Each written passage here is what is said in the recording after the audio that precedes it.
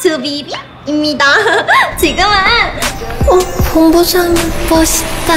도시락 좋아하시나 봐요? 좋아해요. 잠깐 멈췄나 봐요. 무서워하지 말아요. 혹시 이것은 운명? 어, 어. 비빔밥과 도시락의 운명적인 만남. 세븐일레븐 비빔밥 도시락.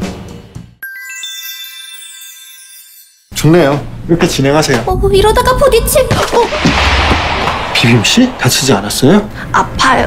여기가 제가 되어줄게요. 비빔 씨만의 의사. 아주 가지가지하네. 가지가지 가득 찬 세븐일레븐 비빔밥 도시락. 당장 헤어져! 본부장님. 지금부터 주 비빔을 프레젠테이션 하겠습니다.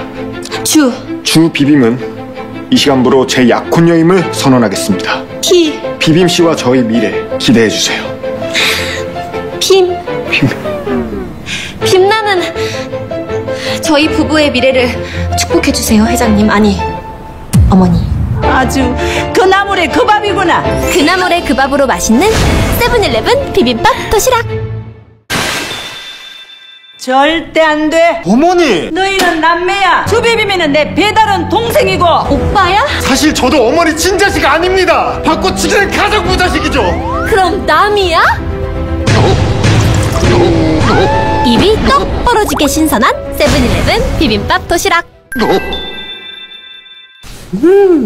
너무 맛있죠. 진짜요? 더럽게 비비적거리네. 같이 먹으니까 천국의 맛이에요. 어, 주비 맛있어서 죽는다고. 둘이 먹다 둘이 죽어도 모르는 맛. 세븐일레븐 비빔밥 도시락.